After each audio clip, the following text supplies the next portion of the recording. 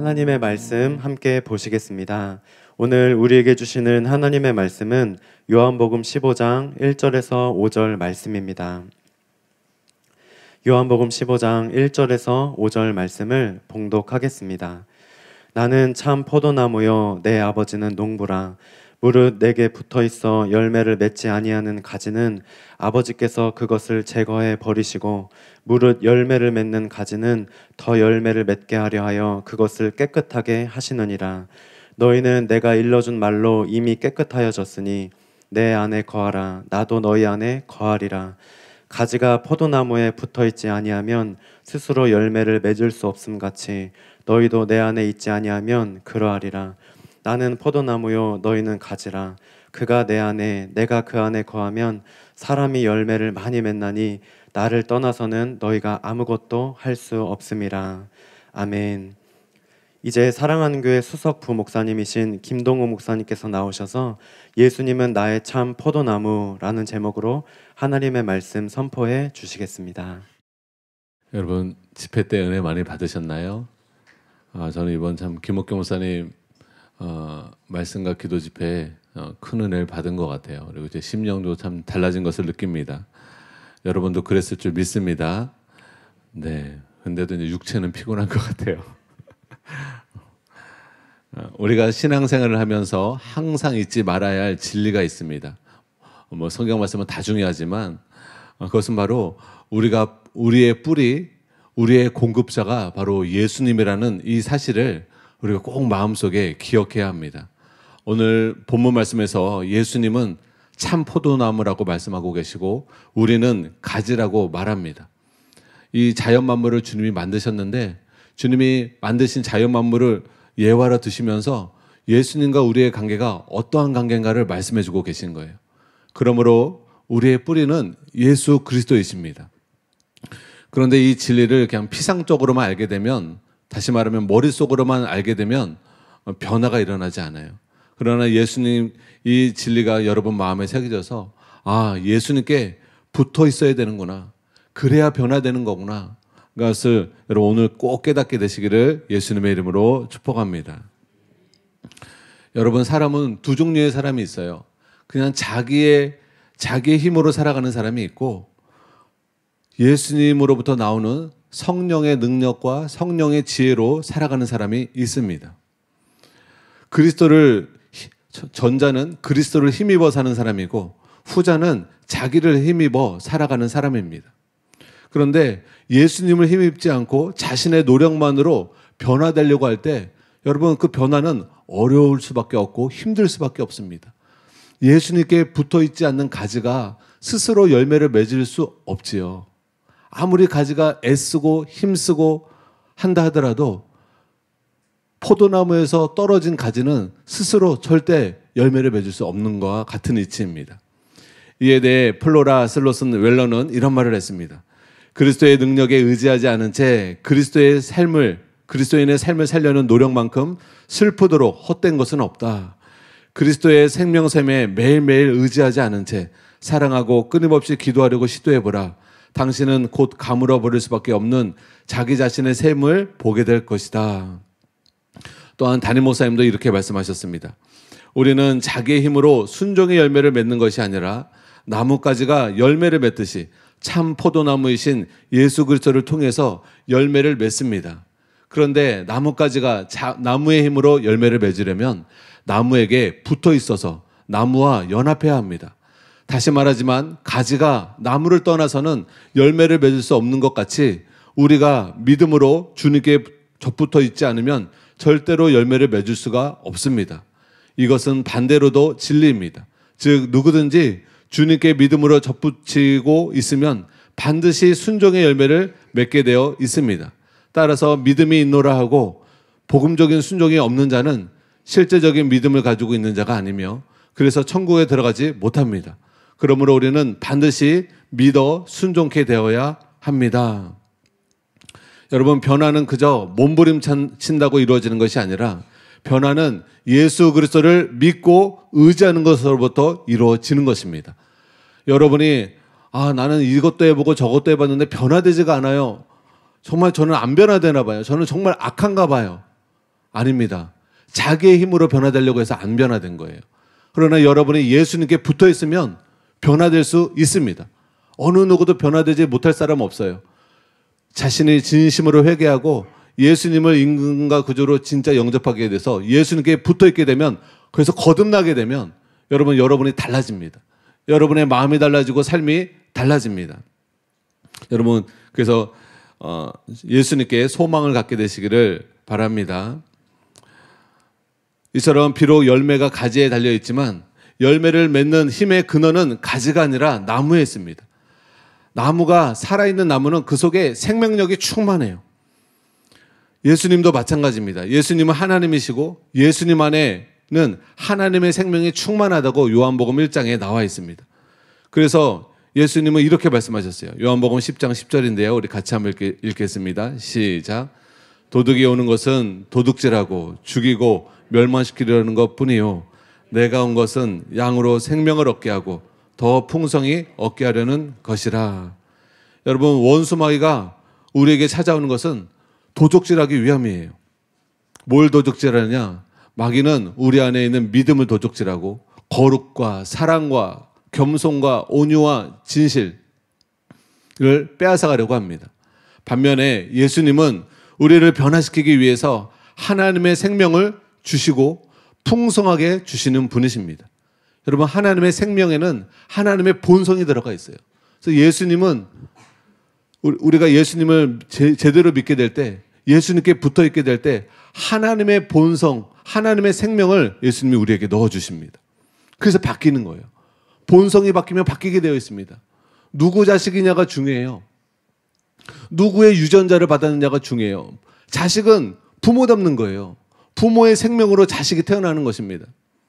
아니, 자, 잠깐 예, 예를 들어서요. 저는 미술을 진짜 못 그려요. 저는 미술 시간에 제일 싫었어요. 저 음악 시간을 좋아했어요. 노래 부르는 거 참 좋아해요. 찬양 부르는 거 참 좋아해요. 근데 미술 시간만 되면 고등학교 때 꼴밤을 맞았어요. 선생님한테. 왜 꼴밤을 맞았냐? 야, 발로 그려도 이거보다 잘 그리겠다. 그러는. 어, 근데 제가 봐도 그래요. 제가, 제가 그린 게 항상 쫄라맨이에요. 제대로 이게 사람답게 그리지를 못해요. 근데요, 저희 사모는 그림을 잘 그려요. 어, 그래서 어떻게 이렇게 저하고 대조적인데 애들이 아들들은 저를 닮고 딸은 엄마를 닮았어요. 딸은 그림을 아주 아주 잘 그려요. 근데 아들들은 저를 닮아서 쫄라맨을 그리고 있습니다. 여러분 이게요 예체능은요 부모 닮습니다. 노래 잘하는 부모님이 있으면 그 자녀들이 또 자매들이 쪼르륵 노래를 다 잘해요. 저희 어머니와 이모님들이 노래를 참 잘하시거든요. 그 보고 배우는 겁니다. 담는 겁니다. 생명이 그렇게 달라요. 그렇게 능력이 있습니다. 자녀 보면요 국화, 국화빵인 사람이 있어요. 아빠하고 완전히 아빠 얼굴 찍어놨어. 엄마 얼굴 딱 찍어놨어. 그렇지 않습니까? 생명입니다. 생명입니다. 여러분 마귀 자식으로서 아무리 애를 써도 안 변화됩니다. 마귀 자식이 변화되려면 마귀 자식으로서 죽고 하나님의 자녀로 거듭나야 합니다. 하나님의 본성으로 다시 태어나야 합니다.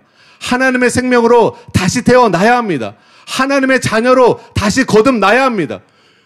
기독교는 종교가 아니에요. 기독교는 생명입니다. 그래서 기독교는 예수님이 십자가에 못 박힌 것과 같이 내가 마귀의 자녀로서 죽는 겁니다. 더 이상 마귀의 자녀로 살아가지 않는 거예요. 죽는 거예요. 그리고 하나님의 생명으로 거듭나는 것입니다. 내가 여러분에게 묻고 싶은 것은 교회를 다녔느냐 안 다녔느냐 이걸 묻고 싶은 게 아니에요. 거듭났느냐 거듭나지 않았느냐. 여러분은 도대체 마귀의 자녀냐 하나님의 자녀냐 이걸 묻고 싶은 것입니다. 마귀의 자녀로서 애를 써도 변화되지 않습니다. 그러나 거듭나게 되면 하나님의 생명으로 하나님의 자녀가 되면 하나님의 본성이 여러분 안에 흐르게 됩니다. 하나님의 생명이 여러분 안에 흐르게 됩니다. 그래서 하나님이 거룩하신 것처럼 여러분이 거룩해질 수 있습니다. 하나님이 온전하신 같이 여러분도 온전해질 수 있습니다. 저는요, 이 거듭난 사람 이걸 다 느껴요. 저도 마귀의 자녀일 때가 있었거든요. 그래서 제 마음에 선한 것이 없었어요. 그리고 제 마음에 평강이 없었어요. 그러나 제가 중학교 때 회개하고 예수님을 믿게 되고 거듭나게 되는 사건이 있었어요. 그리고 제 마음에 진짜 평강이 있었어요. 이 거듭난 사람은 압니다. 세상에 줄 수 없는 평강과 기쁨이 임합니다. 그것뿐만이 아니라 하나님의 성품이에요. 와, 저는 너무 신기하더라고요. 제 안에 선한 마음이 있는 거예요. 제 안에 제가 생각해도 기특한 마음이 있는 거예요. 진짜 사람들을 아무 우리 한국 사람들은 참 특이한 게 나하고 관계 있는 사람은 잘해줍니다. 근데 나하고 전혀 관계 없는 사람은 왜 쳐다봐? 이런, 이런 적대적이에요. 근데요, 이 예수님의 생명으로 거듭나게 되면 처음 보는 사람인데 사, 사랑스럽게 보이고 처음 보는 사람인데도 친절을 베풀게 되고 처음 사, 보는 사람에 대해서도 여러분 우리의 마음에 선한 마음을 갖게 됩니다. 여러분 이렇게 하나님의 생명으로 우리가 충만케 되면 이전의 삶과는 완전히 다른 삶을 살게 되는 줄 믿으시기 바랍니다. 진짜 달라집니다. 그래서 마음이 달라지고 얼굴빛이 달라집니다. 얼굴 형상이 달라집니다. 그 아빠 저, 저는 목회자로서 참 감사한 것은 교회 그냥 부모님 따라오고 남편 따라오고 아내 따라오고 하신 분들이 있어요. 근데요, 갑자기 얼굴이 달라져요. 어느 순간에 달라져요. 그분이 거듭난 거예요. 거듭나면 얼굴빛이 달라집니다. 그 사람 마음이 달라졌기 때문에 얼굴빛이 달라지는 거예요. 여러분, 여러분의 심령이 다 거듭나게 되시기를 예수님의 이름으로 축복합니다. 성경에서는 거듭난 자만 천국에 들어간다고 그랬어요. 거듭난 자만. 마귀 자녀가 천국 못 가요. 하나님 자녀로 거듭나야만 천국에 들어가는 줄 믿으시기 바랍니다. 여러분, 들포도나무가 아무리 노력을 해도 참포도 열매를 맺을 수 있나요, 없나요? 못 맺어요. 들포도나무는 들포도만 맺어요. 근데 방법이 하나 있어요. 여러분, 들포도 나무가 참포도 열매를 맺을 수 있는 방법이 뭘까요? 그렇죠. 성경을 읽어보신 분은 지금 답이 나오고 있어요. 아니, 목사님, 어떻게 들포도 나무가 참포도 열매를 맺습니까? 말도 안 되는 소리죠. 들포도 나무는 들포도를, 들포도를 맺죠. 아니요. 한 가지 방법이 있어요. 그건 뭐냐면, 여러분, 들포도 나무 가지를 베어서요. 참포도 나무에 접붙이게 되면요. 놀랍게도요.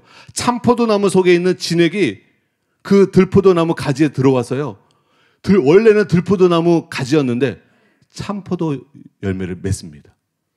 여러분 아시죠? 농부는 이걸 직접 보는 겁니다. 접붙임의 효과. 분명히 이 가지는 들포도 나무 가지였어요. 근데 들포도 나무에서 배워버렸어요. 마귀의 자녀에서 죽었어요. 그리고 예수님께 붙어, 붙은 거예요. 참포도 나무신 예수님처럼 참포도 나무에 붙어 있으니까 들포도 가지였는데, 들포도 나무 가지였는데, 들포도 나무 가지에서 참포도가 나옵니다. 여러분, 마귀의 자녀로서 노력한다고 하나님의 형상을 이룰 수 없어요. 여러분이 변화되려면 들포도 나무에서 베어져 가지고 참포도 나무에 접붙임이 되어야 되는 줄 믿으시기 바랍니다. 이게 거듭남입니다. 이게 예수님을 영접하는 거예요. 이것이 예수님으로 하나님의 생명으로 충만케 되는 것입니다. 그러므로 우리가 변화되는 데 있어서 중요한 것은 우리의 결단이 중요해요. 근데 그것과 함께 바로 예, 참 포도나무 대신은 예수님 안에 있는 진액이 올라오는 것이 중요합니다. 왜 들포도나무 가지가 접붙임 됐을 때 참포도가 열매했을까요? 참포도 열매가 열렸을까요? 그는요, 그 참포도 나무, 나무에게서 참포도의 본성과 DNA와 생명이 흘러 들어왔기 때문에 그래요. 흘러 들어왔기 때문에. 그래서 참포도가 열매, 열매를 맺게 되는 것입니다. 이와 같이 이 예수님은 참포도 나무인데 예수님께 접붙임 받은 우리가 예수님을 영접한 우리가 예수님을 믿게 되는 우리가 우리 안에 진짜 어, 예수님 안에 있는 진액이 들어옵니다. 그래서 변화가 되어요. 예수님의 진액은 다른 말로 하면 하나님의 생명이고 더 구체적으로 말하면 성령님입니다. 성령님.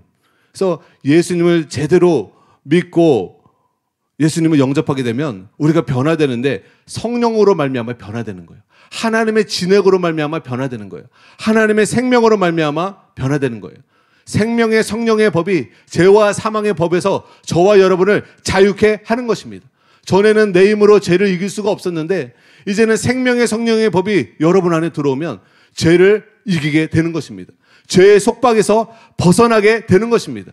죄의 굴레에서 벗어나게 되는 것입니다. 할렐루야. 마음에서부터도 죄를 안 짓게 되는 거예요. 성령으로 충만케 되면 하나님의 생명으로 충만케 되면 하나님은 한 번도 죄를 지신 분이 아니세요. 하나님은 빛이세요. 영광스러운 빛이세요. 하나님은 거룩한 빛이세요. 그래서 우리가 하나님의 생명으로 계속 충만케 되면 여러분도 저도 하나님의 생명으로 빛된 삶을 살 수 있습니다. 거룩한 삶을 살 수 있습니다. 용서하며 사랑하며 살 수 있습니다. 마귀 닮은 모습이 아니라 하나님 닮은 모습으로 하나님의 형상으로 살아갈 수 있습니다. 저와 여러분이 그렇게 되기를 예수님의 이름으로 축복합니다.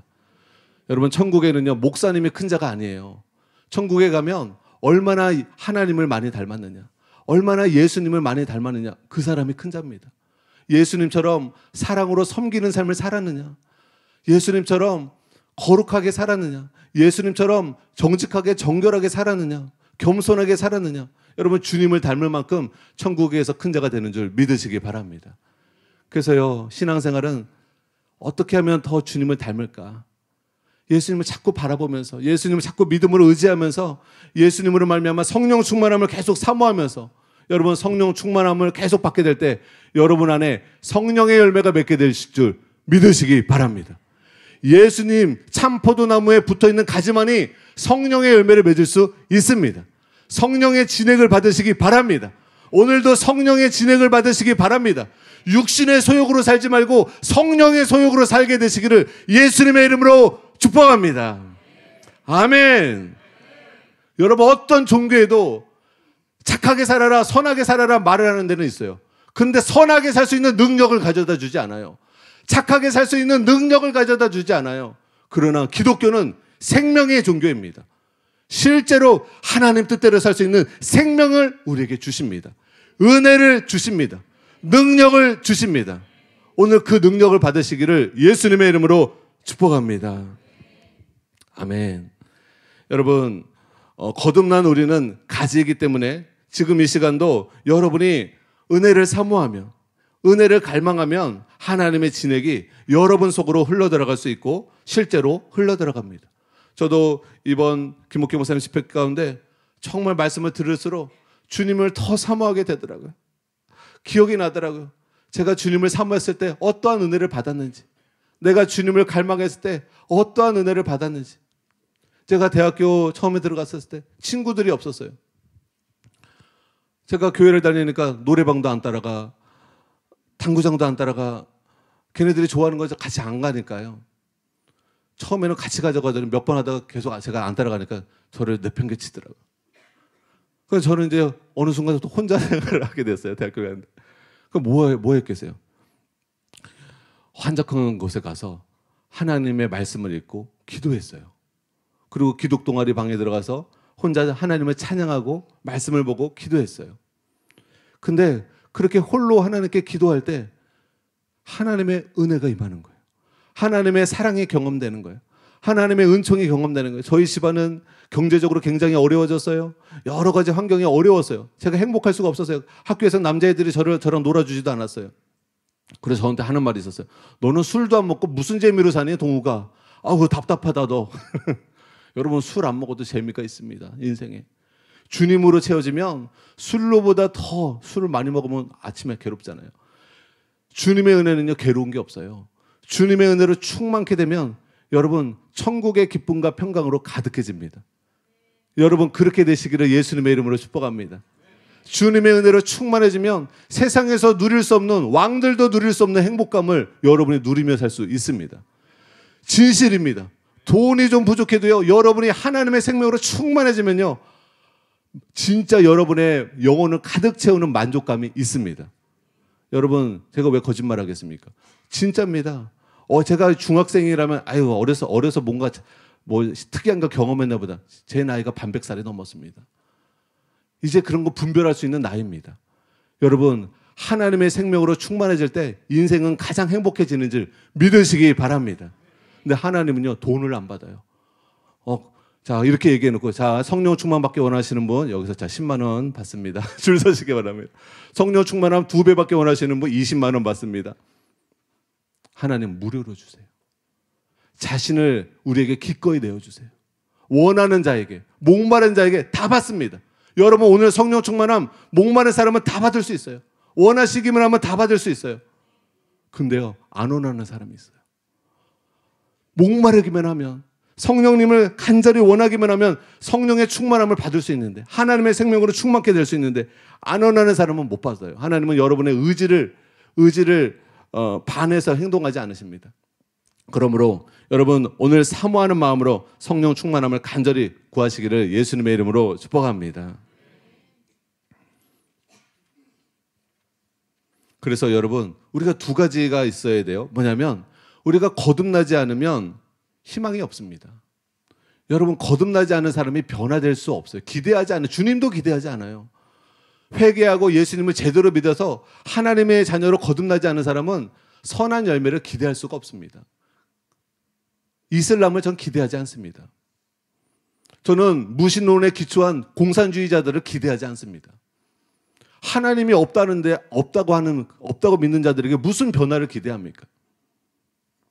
그러나 여러분처럼 하나님의 존재를 믿을 뿐만 아니라 예수님의 존재를 믿을 뿐만 아니라 예수님을 임금과 구주로 영접하고 예수님 뜻대로 살고자 예수님을 믿고 의지하는 여러분에게는 변화가 있게 될 줄 믿으시기 바랍니다. 그래서 여러분, 여러분이 계속적으로 주님의 은혜를 받으면 절망감을 물리치세요. 반드시 변화됩니다. 여러분, 믿음으로써 계속 예수님의 생명, 예수님의 마음, 예수님의 성품, 예수님의 사랑, 예수님의 거룩, 예수님의 정신 이런 것들을 여러분의 사모함과 믿음으로 계속 받아들이게 되면 여러분의 언행 심사가 변화되게 됩니다. 잠재의식까지도 변화되게 됩니다. 성경에서 말하는 온전에 이르게 됩니다. 정말 생각으로도 마음으로도 죄를 짓지 않는 삶으로 나가게 됩니다. 그 사람의 말과 행동 속에서 눈빛 속에서 모든 하나님의 선함과 아름다움과 거룩함이 배어져 나옵니다. 여러분 다 찌들어 어느, 어느 냄새 나는 곳에 찌들어 있으면 그 사람 몸에 배이잖아요. 담배 담배를 매일 피면요 그 방에 냄새가 배입니다. 예전에는 저희 아버지가 담배를 피셨어요. 그럼 방에 들어가면 담배 냄새가 찌들어 있었어요. 찌들어. 항상 그 방에서 피셨었어가지고. 여러분 어디에 어느에 어디에 계속 있느냐가 굉장히 중요해요. 여러분 자꾸 모이게 힘써야 될 줄 믿으시기 바랍니다. 성령 충만한 곳에 자꾸 있게 되면요. 여러분이 사모하는 마음으로 성령 충만하고 하나님이 임재하시는 곳에 자꾸 있으면요. 여러분의 마음과 생각이 씻겨집니다. 그리고 하나님의 은혜에 찌들게 되면 여러분의 그 은혜가 여러분을 변화시킵니다. 눈빛을 변화시키시고 마음을 변화시키고 여러분의 행동을 변화시키고 쉽게 짜증내고 쉽게 성냈던 사람이 이제는 점점 온유해집니다. 마음이 부드러워집니다. 다른 사람은 시기하고 질투했던 사람이 이제 시기하지 않고 질투하지 않습니다. 전에는 음란한 마음을 자꾸 품었던 그 사람이 이제는 거룩한 생각을 합니다. 정결한 생각을 합니다. 여러분, 주님의 그 은혜로, 주님의 은혜로 계속 젖어들게 되시기를 예수님의 이름으로 축복합니다. 가랑비에 옷 젖습니다, 여러분. 가랑비에 옷 젖어요. 자꾸 기도하시기 바랍니다. 여러분 자꾸 기도하는 게 중요해요. 일주일에 한 번 기도한다고요? 어디 여러분 일주일에 밥 한 번만 먹으세요?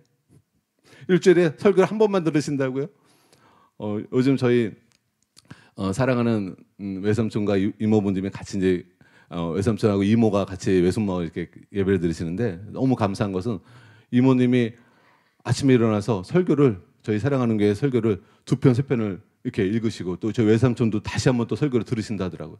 여러분 그렇게 진리의 말씀을 자꾸 들으면요 변화됩니다. 기도를 자꾸 하면 변화됩니다.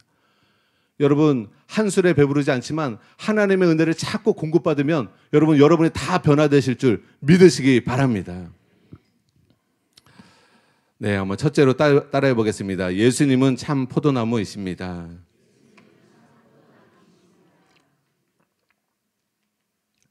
여러분 세상에서 제일 중요한 것은 관계입니다.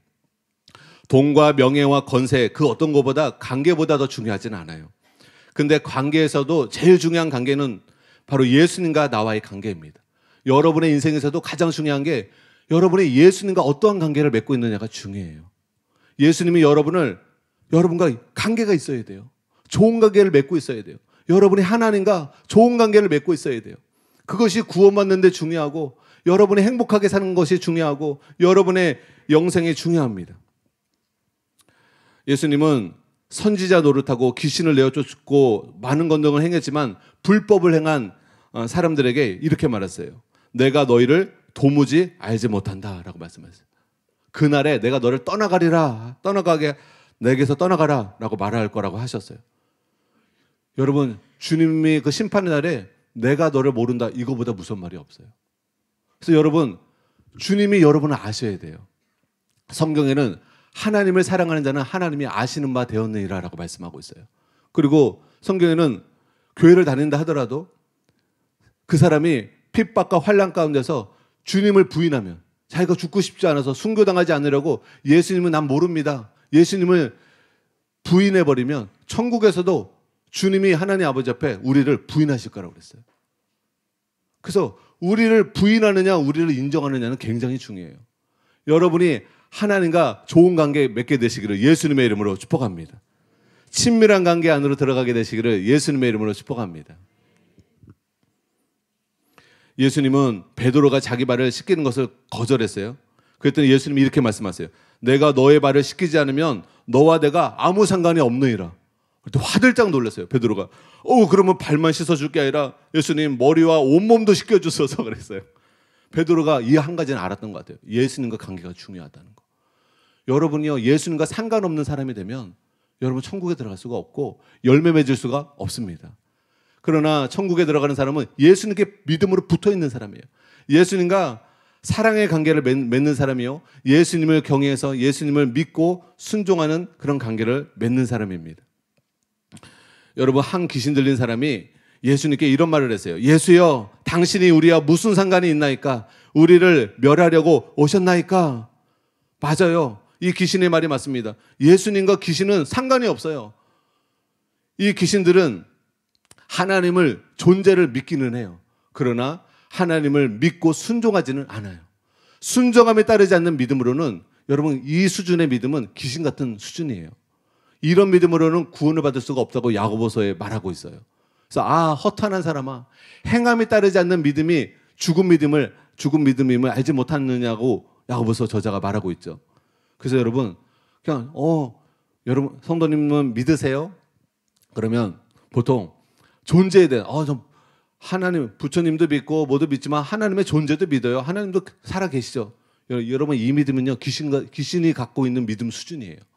근데 이 믿음 수준으로는 천국에 못 들어가요. 어, 어떤 믿음으로 가져야 되느냐?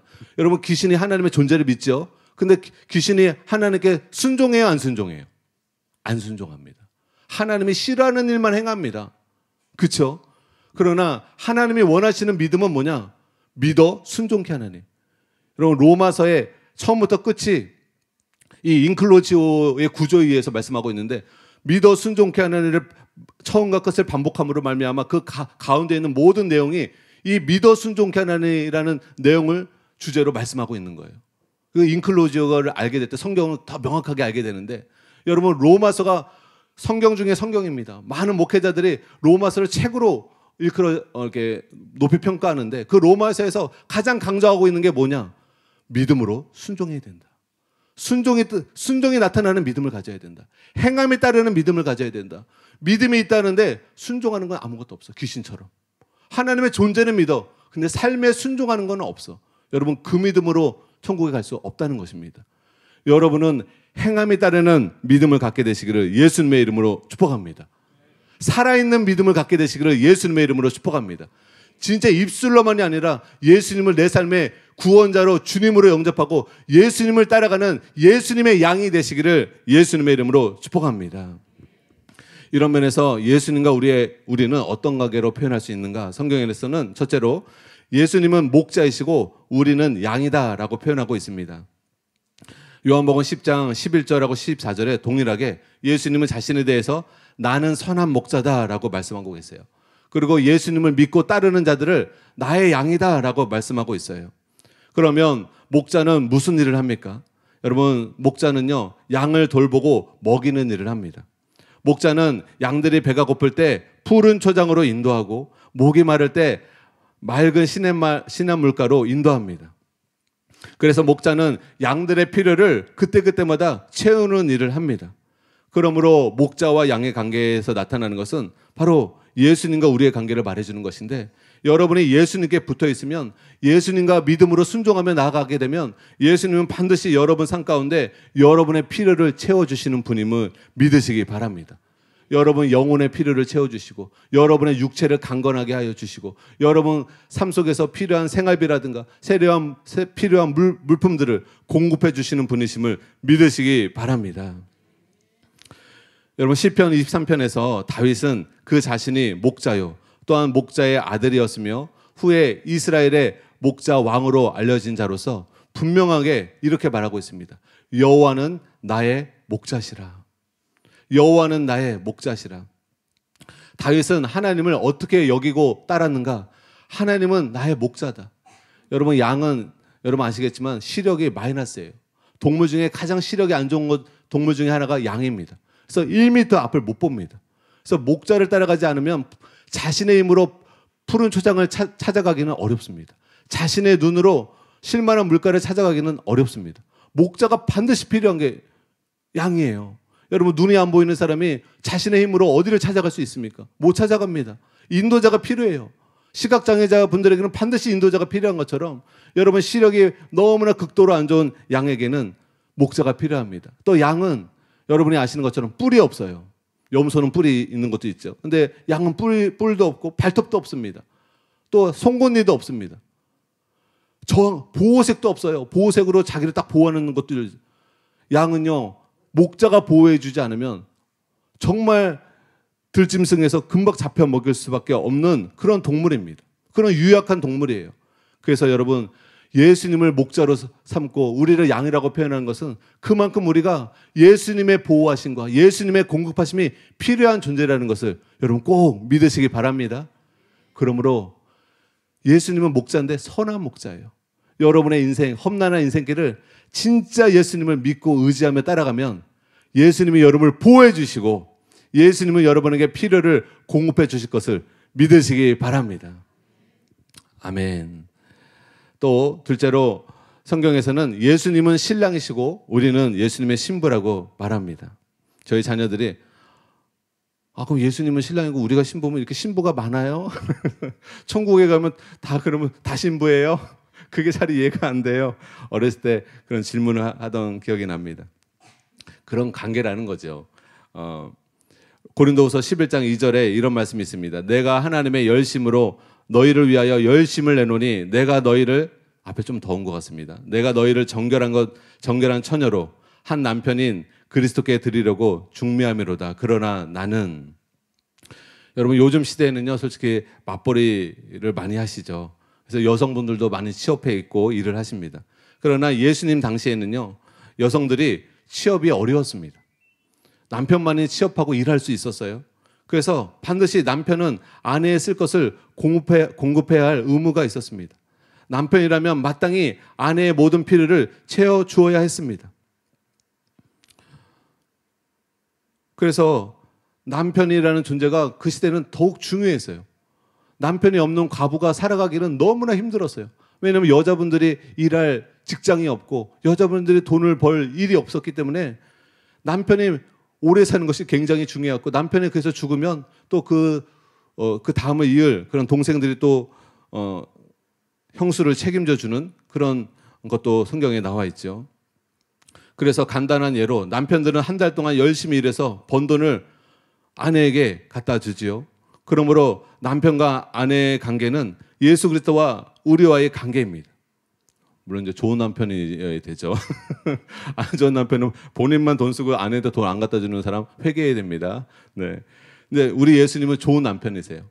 그래서 성경에 보면 죽기까지 우리를 위해서 자신의 모든 것을 다 내어준다고 약속하고 있어요. 여러분, 예수님은요, 우리에게 다 내어주시는 분이세요. 그런 남편이에요. 예수님은 목숨까지 우리에게 내어주셨다라고 성경에 써 있어요. 제가 이번에도 회개했어요. 남편들아, 아내 사랑하기를 예수 그리스도께서 교회를 위하여 목숨을 내어주기까지 사랑한 것처럼 남편들 아내를 그렇게 사랑하라. 이 말씀이 제가 찔리더라고요. 내가 아내를 그렇게 사랑하고 못, 사랑하지 못하고 있는 것 같은데. 회개, 깊이 회개하고, 아, 이제 정말 아내를 더 사랑해야겠구나. 더 잘해줘야겠구나. 그런 마음을 먹었습니다. 여기 계신 남편분들도 그만 갖게 되시기를 예수님의 이름으로 축복합니다. 네, 여자분만 아멘 하세요. 남편분이 아멘 하셔야 되는데. 또 아내분들은 남편의 말에 범사에 순종하게 되시기를 예수님의 이름으로 축복합니다. 아멘. 네, 조나단 에드워드는 이런 말을 했습니다.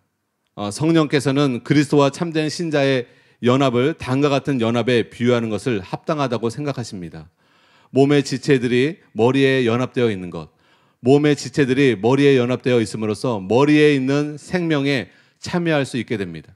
나뭇가지가 나무에 연합되어 있는 것, 나뭇가지가 나무의 수액과 생명에 참여할 수 있는 것은 다른 이유 때문이 아니라 나무에 연합되어 있기 때문입니다. 아내가 남편에게 연합되어 있는 것, 아내가 남편의 모든 소유를 함께 누릴 수 있는 것은 다른 이유 때문이 아니라 남편과 맺고 있는 관계 때문입니다. 재벌의 아내는 재벌이 갖고 있는 모든 것을 다 공유할 수가 있는 것처럼 예수님의 신부들은 예수님이 갖고 있는 모든 것을 다 공유할 수 있습니다. 셋째로 예수님은 머리이시고 우리는 몸이라고 성경은 말하고 있습니다. 에베소서 4장 15절에서 16절인데요. 우리 같이 한번 읽겠습니다. 네, 시작. 오직 사랑 안에서 참된 것을 하여 범사에 그에게까지 자랄지라. 그는 머리니 곧 그리스도라. 그에게서 온 몸이 각 마디를 통하여 도움을 받음으로 연결되고 결합되어 각 지체의 분량대로 역사하여 그 몸을 자라게 하며 사랑 안에서 스스로 세우느니라. 여러분 이 말씀에서 바울은 머리이신 예수님께로부터 온 몸이 각 마디를 통하여 도움을 입고 자라게 된다고 말씀하고 있습니다. 그러므로 머리와 몸의 관계 역시 목자와 양 그리고 남편과 아내의 관계처럼 예수님이 우리의 공급자라는 것을 말해주고 있는 것입니다. 넷째로 예수님은 포도나무시고 우리는 가지라고 오늘 본문 말씀에 말씀하고 있죠. 요한복음 15장 5절에 보면 나는 포도나무요 너희는 가지라. 예수님이 우리의 공급자가 되신다는 진리를 이 비유만큼 잘 말해주는 것은 없어요.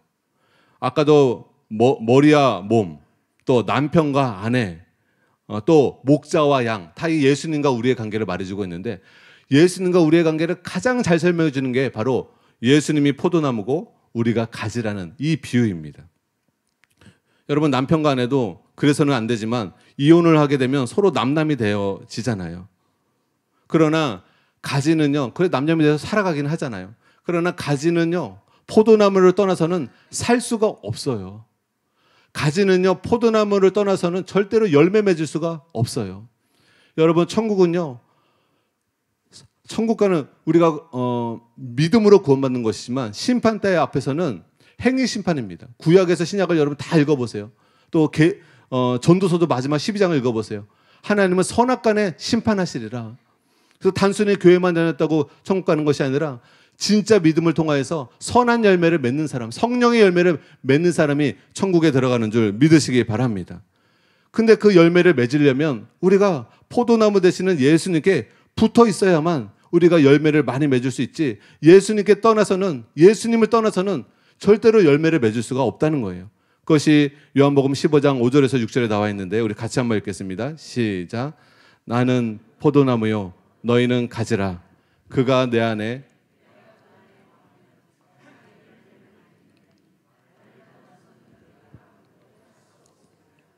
사람이 내 안에 거하지 아니하면 가지처럼 밖에 버려져 마르나니 사람들이 그것을 모아다가 불에 던져 사르느니라.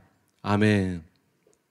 여러분 가지가 포도나무에 붙어 있을 때 그 가지는 생명을 얻게 되고 결실할 수 있게 되는 것입니다. 그러나 가지가 포도나무에 떨어지게 되면 아무런 열매를 맺을 수가 없는 것이죠. 신앙생활은 이거와 똑같습니다. 혼자 애쓰고 길을 쓴다고 여러분 변화되는 게 아니에요. 비가 올 때 빗물을 빨아들이고 해가 내릴 때 강화성 자역을 하더라도 포도나무에 떨어져 있는 가지는 결국 얼마 지나지 않아서 죽게 되는 것입니다. 마찬가지로 우리도 주님을 떠나서 아무리 열매 맺으려고 도덕적으로 노력을 해봐도 하나님이 만족하실 만한 열매를 맺을 수가 없습니다. 그래서 우리가 열매를 맺으려면 고린도전서 1장 30절에 이런 말씀이 있어요. 너희는 하나님으로부터 나서 그리스도 예수 안에 있고 예수는 하나님으로부터 나와서 우리에게 지혜와 의로움과 거룩함과 구원함이 되셨으니 그러므로 여러분과 제가 예수님 안에 거해야 합니다. 예수님 안에 거해야 저와 여러분 안에 주님의 지혜가 임하게 되고 주님의 의로움이 임하게 되고 주님의 거룩함과 구원함이 임하게 되는 것입니다. 주님의 능력이 임하게 되는 것입니다. 그래서 주님께 붙어 있으면 내게 능력 주시는 자 안에서 내가 모든 것을 할 수 있느니라. 여러분 내 힘으로 죄를 이길 수 없었던 그 사람이 이제는 주님의 능력으로 충만케 되면 주님의 생명으로 충만케 되면 주님의 지혜로 충만케 되면 예수님이 이 땅에 사신 것처럼 우리도 그렇게 죄를 이기며 마귀를 이기며 세상을 이기며 하나님의 영광을 드러내는 자로 하나님의 거룩을 드러내는 자로 하나님의 온전하심을 드러내는 자로 살아갈 수가 있습니다. 마귀 자식이 아니라 하나님의 자식으로서 하나님의 자녀로서 살아갈 수가 있습니다. 이에 대해 존 웨슬리는 이런 말을 했습니다. 우리가 알거니와 주님의 말씀은 참되십니다.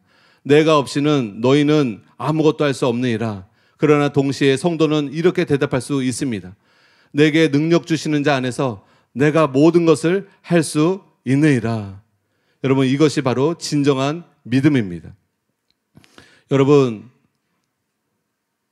담임 목사님 책에 나오는 예화 중에 하나가 그 개싸움을 하는데 어, 이쪽 개가 훨씬 더 크고 어, 전투를 잘할 수 있는 싸움을 잘할 수 있는 그런 개처럼 보이는데 실제 이 작은 개가 어, 나중에 이기게 된 것을 이제 알게 된 거예요. 근데 알고 보니까 이 작은 개, 어, 이 작은 개가 이길 수 있었던 것은 큰 개를 며칠 동안 먹이지를 않은 거예요.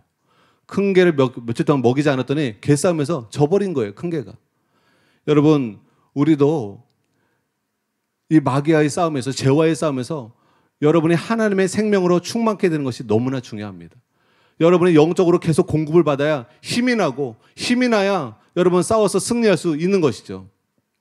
그런데 그 하나님의 생명과 능력은 누구에게 임하느냐?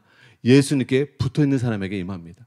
예수님 포도나무 대신 예수님께 붙어 있는 사람에게 그 포도나무에서 올라오는 성령의 진액, 성령의 충만, 성령의 권능 그것이 여러분에게 계속 임하게 되면 여러분이 죄를 이기고 마귀를 이기고 이 세상을 따르지 않고 이 세상 흐름을 따라가지 않고 하나님 뜻대로 살아가는 삶을 살게 되실 줄 믿으시기 바랍니다. 여러분 마음에 패배감과 낙심과 염려로 사는 것이 아니라 믿음과 담대함과 강함과 하나님 나라를 향한 소망을 갖고 살아가게 되는 줄 믿으시기 바랍니다. 그래서 오늘 여러분의 마음의, 마음의 염려와 근심을 다 주님께 올려드리시기를 바랍니다. 그리고 예수님을 여러분 마음에 온전히 믿음으로 의지하고 붙드세요. 마치 그 혈루병 여인이 예수님의 옷깃만 잡아도 나을 것을 믿고 예수님 옷깃을 잡았을 때 예수님 옷에 흘렀던 치유의 기름 부음이 이 혈루병 여인에게 들어와서 그 혈루의 근원이 치유되었잖아 치유되었으면 여러분 아시죠? 여러분 예수님은 치유의 능력만이 있는 것이 아니라 우리의 심령을 변화시키는 거룩한 능력, 사랑의 능력이 있는 줄 믿으시기 바랍니다. 그래서 내 힘으로만 사랑하려고 하지 마시고 내 힘으로만 거룩하게 살려고 하지 마시고 주님을 붙드시기 바랍니다. 간절히 예수님을 사모하시기 바랍니다. 예수님을 간절히 의지하시기 바랍니다. 그래서 예수님으로부터 나오는 성령 충만함을 구하시기 바랍니다. 여러분, 저는 제일 안타까운 사람이 어떤 사람이냐면 교회를 1년, 2년, 3년 다녔어요. 근데 주님을 못 만난 사람이에요. 몇 년을 다녔어도 주님을 못 만날 수가 있어요. 왜 그게 가능하냐? 성경에서는 나를 그냥 찾는 자가 주님을 만나는 것이 아니라 나를 간절히 찾는 자가 하나님을 만나게 될 것이라.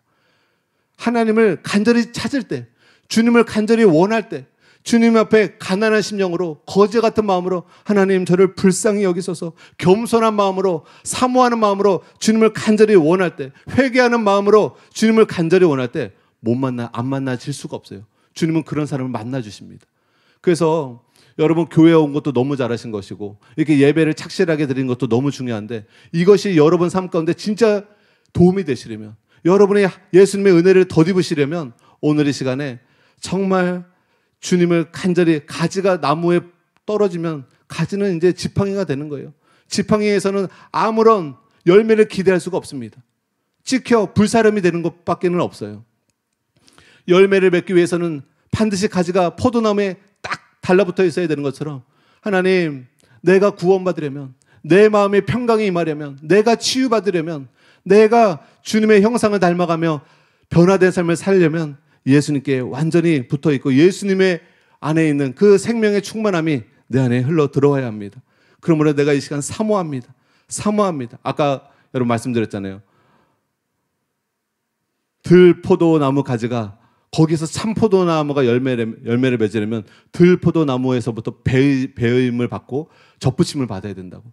그래서 내가 이제껏 마귀를 따랐던 것을 회개합니다. 이 세상을 따랐던 것을 회개합니다. 육신의 소욕을 따라 살았던 것을 회개합니다. 이기심을 따라서 살았던 것을 회개합니다. 정욕을 따라 살았던 것을 회개합니다. 권력을 추구하며 살았던 것을 회개합니다. 주님, 이제 예수님이 내 삶의 주인이십니다. 예수님을 따라 살기로 오늘 결단하오니 주님, 주님, 주님의 은혜로 나를 채워 주시옵소서. 여러분 이런 간절한 사모하는 마음으로 기도하실 때 여러분 심령이 변화되실 줄 믿습니다. 그래서 오늘은 여러분 간절한 마음으로 소리도 내셔서 하나님 앞에 우리 같이 기도하며 나가도록 하겠습니다. 함께 기도하시겠습니다. 주님, 주님이 나의 포도나무이십니다. 나는 그의 가지입니다. 주님, 포도나무를 떠난 가지는 공부할 수밖에 없습니다. 포도나무를 떠난 가지는 메마를 수밖에 없습니다. 포도나무를 떠난 가지는 아무런 열매를 맺을 수가 없습니다. 포도나무를 떠난 가지는 병들어서 죽을 수밖에 없습니다. 주님, 이 진리가 내 마음에 새겨지게 하여 주시옵소서. 예수님을 떠난 우리는 공부해질 수밖에 없습니다. 예수님을 떠난 내 영혼은 메말라질 수밖에 없습니다. 예수님을 떠난 내 마음은 죽어갈 수밖에 없습니다. 아바 아버지, 내가 가지임을 잊지 않게 하여 주시고 포도나무 되시는 예수님께 겸손함으로 사모함으로 믿음으로 온전히 붙어 있게 하여 주시옵소서. 온전히 붙어 있게 하여 주시옵소서. 주 예수여, 우리를 불쌍히 여겨 주시옵소서. 주 예수여, 나를 불쌍히 여겨 주시옵소서. 주님 이 각박한 사회 세상에서 마귀가 임금인 이 세상에서 주님 내가 죄를 이기며 하나님 뜻 가운데 살 수 있으려면 예수님께 붙어 있는 것밖에는 없습니다. 성령의 충만함을 받고 사는 것 외에는 없습니다. 오 주님, 내 마음이 더 간절히 주님을 찾게 하시고 주님이 나의 삶의 목자가 되심을 깨닫고 예수님만 따르는 주의 양이 되게 하여 주시옵소서. 주님의 양이 되게 하여 주시옵소서. 주님의 양이 되게 하여 주시옵소서. 길 잃은 양과 같은 나의 존재가 방황했던 나의 인생이 이제는 선한 목자 되신 예수님을 만나고 선한 목사의 음성을 듣고 따라가기를 원합니다. 예수님, 나를 푸른 초장으로 인도하여 주시옵소서. 예수님, 나를 실만한 물가로 인도하여 주시옵소서. 내 고난, 내 피곤한 몸을 참된 안식을 주시고 내 공고해진 영혼에 새 힘을 부어 주시옵소서.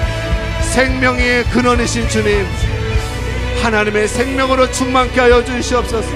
사랑하는 성도님들의 영혼이 이 시간 하나님의 생명으로 충만케 되게 하소서. 성령으로 충만케 되게 하소서. 성령으로 충만케 되게 하소서. 오늘의 시간 들포도 나무에서 베어지고 삼포도 나무에 접붙임을 받기를 원합니다. 삼포도 나무에 접붙임을 받기 원합니다. 그래서 삼포도를 열매 맺기 원합니다. 성령의 열매 맺기 원합니다. 육신의 열매를 맺는 것이 아니라 성령의 열매 맺게 하여 주시옵소서. 모이기를 힘쓰게 하소서. 모이기를 힘쓰게 하소서. 날마다 기도하게 하소서. 날마다 기도하게 하소서. 하나님 말씀을 묵상하게 하소서. 하나님 말씀을 묵상하게 하소서. 주님으로 채워지게 하여 주시옵소서. 주님으로 채워지게 하여 주시옵소서. 사랑하는 성도님들의 신앙생활이 변화되게 하소서. 주님 교회만 왔다 갔다 하는 것이 아니라 사랑하는 성도님들의 심령에 하나님의 은혜가 부어지고 하나님의 사랑이 부어지고 하나님의 평강을 경험하게 하여 주시옵소서. 모든 필요를 채워 주시옵소서. 모든 필요를 채워 주시옵소서. 주님의 크신 영광으로 자정하여 주시옵소서. 하나님의 크신 영광으로 자정하여 주시옵소서. 원하게 하소서. 주님의 은혜를 더 원하게 하소서. 조금 원하지 않고 더 많이 원하게 하소서. 하늘 문을 열어 주소서. 목마른 자에게 은혜를 부어 주소서. 사모하는 자에게 은혜를 부어 주소서. 배고픈 자에게 하나님의 은혜를 부어 주소서. 부어 주소서. 배고프게 하소서 주님. 우리가 배고프게 하소서. 우리가 목마르게 하소서. 주님 목마르게 하소서. 세상 것들에게만 목마르지 않게 하시고 돈에만 목마르지 않게 하시고 먹는 것에만 목마르지 않게 하시고 주님을 목마르게 하소서. 예수님을 목마르게 하소서. 예수님을 사모하게 하소서. 예수님을 찾고 예수님을 의지하게 하소서. 예수님을 부르게 하소서. 예수님을 부르며 기도하세요. 예수님을 간절히 부르며 기도하세요. 예수님이 나의 포도나무이십니다. 예수님이 나의 포도나무이십니다. 나는 예수님의 가지입니다. 예수님께 끝까지 붙어 있을 것입니다. 끝까지 예수님께 붙어 있을 것입니다. 주님 나와 함께하여 주시옵소서. 예수님 나와 함께하여 주시옵소서.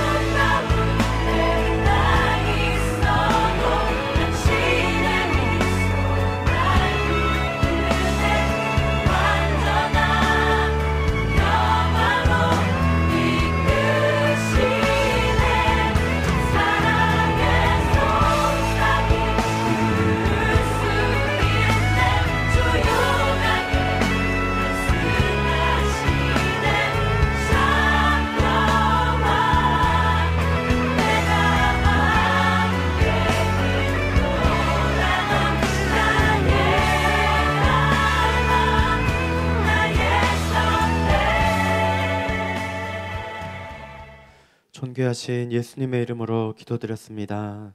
아멘.